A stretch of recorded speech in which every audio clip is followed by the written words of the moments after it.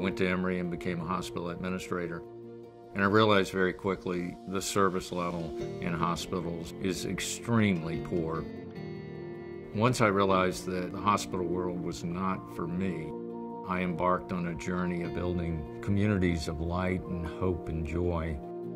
We wanted to create amazing buildings with meaningful activities for people to stay engaged in the community. That created a whole new system of well being and activity and livelihood.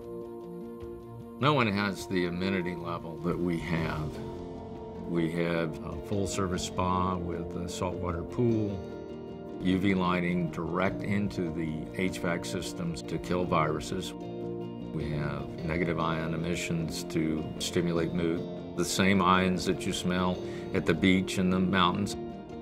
We have a small business incubation center to inspire young adults to form their own businesses.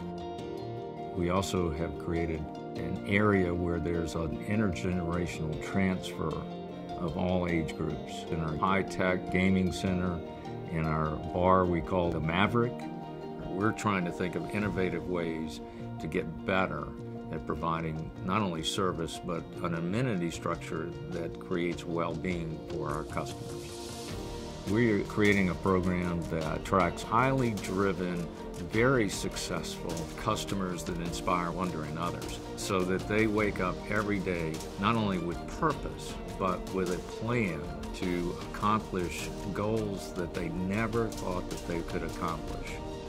It could be climbing Mount Kilimanjaro or it could be serving an underprivileged community internationally. It doesn't matter what your age is. You can do anything with the right mindset.